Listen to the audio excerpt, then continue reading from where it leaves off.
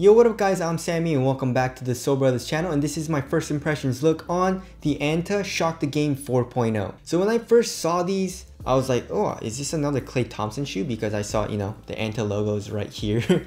and I was like, oh, it looks actually pretty dope. It's very, very different, but you know, like the combination of materials, like the mesh panels, and I guess this like little claw thing here on the lateral side, it looks really, really dope in my opinion, you know?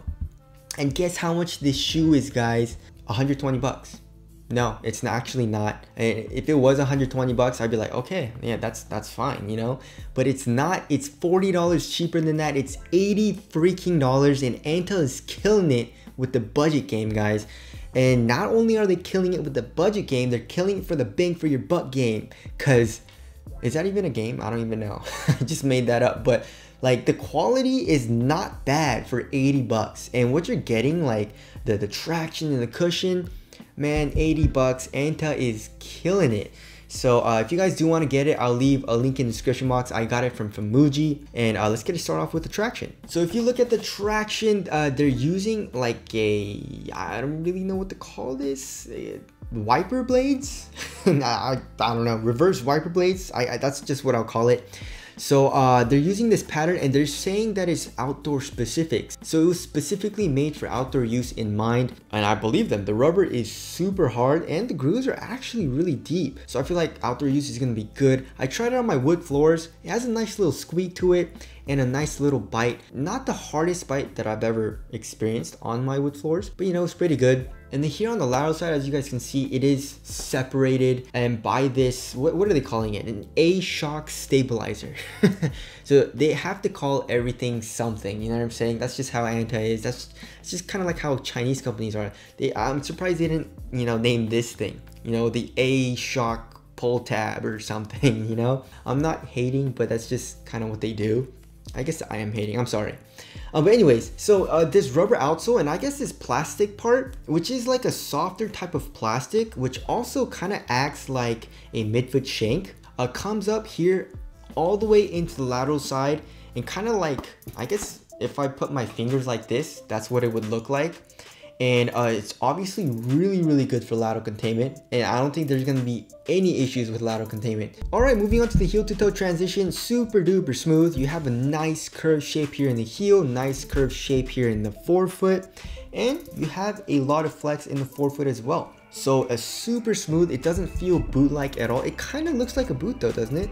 You know just like kind of the overall silhouette kind of looks clunky kind of looks like a boot but it's not it's super smooth you just walk around uh, very very fluid so now moving on to the cushioning they're calling this their a-shock 3.0 so I don't think I've ever uh, played in A-Shock cushioning. I've only played in A Flash Foam, I believe. And that's from, you know, the KT line. The KT line usually uses the A Flash Foam. So uh, A-Shock 3.0 is new to me, but then like just pressing the cushioning with my fingers, it's really, really soft. And not only that, so uh, as far as the insole goes, the insole is really comfortable. It's a nice thick foam material. So the stepping comfort is nice from that.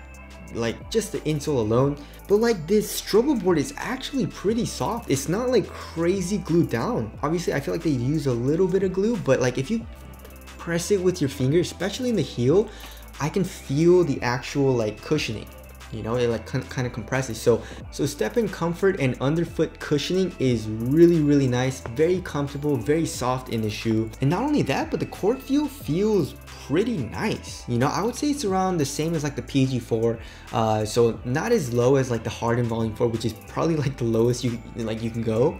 But then you have a nice soft cushion underneath your foot. Also there is a lot of compression here in the heel. I feel like impact protection is going to be very very good. It doesn't feel crazy bouncy to me though yet uh, I'm gonna need to, you know, obviously play in them, so we'll see on that. But it doesn't feel crazy bouncy to me right now, just walking around in a little bit. But so far, I mean, it feels really, really nice. Two things that I'm worried about is that this might bottom out though. Uh, we'll have to see on that, but you know, hopefully it doesn't. But I feel like it's gonna bottom out pretty quickly, and it might be a little unstable here in the heel. I, I don't think it's gonna be crazy, crazy unstable like the LeBrons or anything, but it might be. Uh, it's just a little speculation though, uh, something that I'm a little worried about. But you know, that's it. Uh, this cushioning setup is really, really nice. All right, moving on to the materials. They're using a combination of materials. Uh, they're using a lot actually.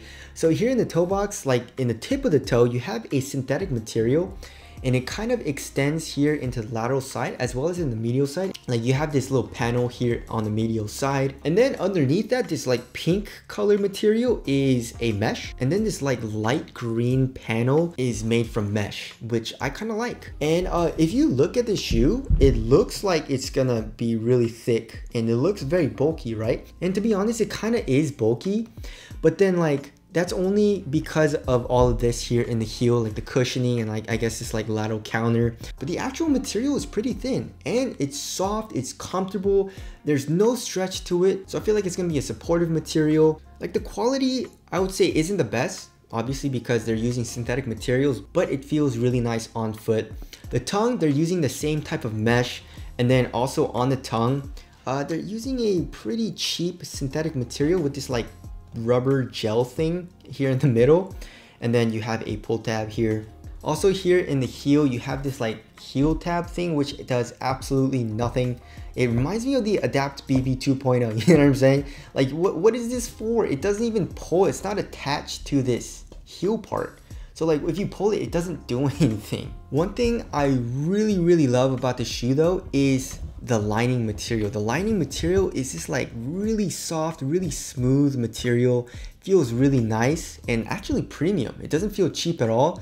And also another thing that I love about the shoe is the Achilles pad. It's a very large Achilles pad and uh, it's just one. It's not even two, it's just freaking one big ass Achilles pad and feels incredible. My Achilles loves this, you know what I'm saying? And then the tongue is, uh, there's really no padding to it.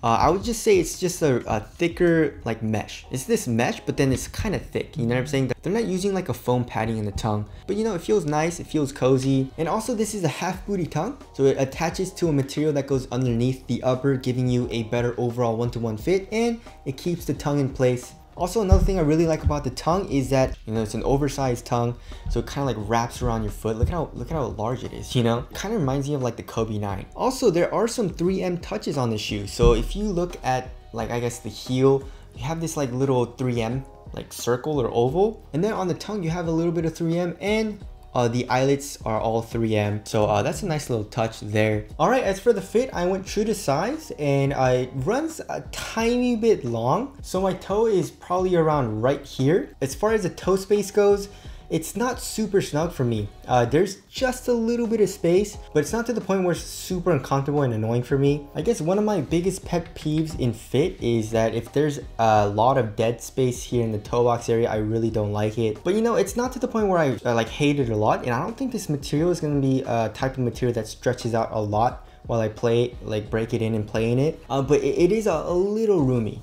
and a little bit roomier than I would like. And as far as the width goes, I would say it's uh, a little wide actually. So uh, if you have a wide foot, be very, very happy. I feel like this shoe is more for people that have wide feet or that want a roomier fit. Uh, moving on to the support and lockdown, obviously I feel like lateral support is going to be really, really good in this shoe. Don't you guys think, right? Uh, just a little speculation. There is an internal TPU heel counter, and obviously this I would classify as, I guess, a mid-cut. Uh, it kind of like goes over your ankle bone, but like this material is pretty soft. It doesn't really restrict ankle movement all too much. So I don't think ankle support is gonna be that good, but you know, it is a pretty wide base, like this stabilizer thing kind of protrudes out. So uh, I feel like lateral stability is going to be good. And of course, you got the rope laces here. All right, moving on to the weight. What do you guys think? I mean, it looks heavy. It looks bulky too, right? I'm guessing like 13, 13.5 ounces. Ooh, damn, bro, 15.7 ounces. Yeah, I, I don't know why it feels lighter than that. Um, but yeah, 15.7 is definitely not not light. That's actually super freaking heavy. That's like a LeBron, you know what I'm saying? But yeah, this shoe feels a little heavy. Um, I am actually kind of surprised. Like I said, I didn't expect it to be that heavy. Like the upper is actually kind of minimal, you know what I'm saying? Even though they're using like a large combination of materials, it's not like that thick. There's not a crazy amount of padding uh, on the shoe. Obviously like the synthetic leather panels uh, add a little bit of weight, but it's not crazy thick, you know? I feel like most of the weight is probably from the midsole and the outsole. You know, this A Shock 3.0, it feels like a really dense foam, not like React or Lunarlon. One good thing though is that uh, right now, obviously I'm gonna need to play in it, but right now it doesn't feel crazy, crazy bulky. You know, like comparing it to, let's see, the Don Issues, where is it? The Don issue for some reason, like for me, feels really, really heavy and really bulky. And it just doesn't feel like that in this shoe for me. Like I said, I was surprised at how heavy it was, you know? But anyways, all right, moving on to the aesthetics. Like I said, I really like it. It's very different. I like the different panels, like different types of materials that they're using. It's very chaotic. And uh, it kind of reminds you of like a Westbrook type of shoe, but then like better design maybe, you know? Because I wasn't really a huge fan of the Why Not 0.3. Like if this was Russell Westbrook's shoe, I would be like, mm, that's pretty damn nice, right? And I also really like the colorway. So tell us what you guys think of the aesthetics down in the comment section below. So right now, my first impressions are really, really nice. Uh, I, I don't think I would like it as much because like obviously for me, what I prefer is a, a very minimal shoe and a very, very light shoe. And that's obviously not what the shoe is. But of course, I'm gonna need to play in it. Hopefully it surprises me. Like as far as the quality of the materials and how it feels on foot, it's just super comfortable, cozy. I love the lining, I love the Achilles pad. The cushioning is nice. And all of that for 80 bucks is insane. Anta, you guys are killing it. So if you guys do want to cop the shoe, I'll leave a link in the description box. Shout out to Famuji. Uh, but that's it. Thank you guys for watching and I'll see you guys in the next one.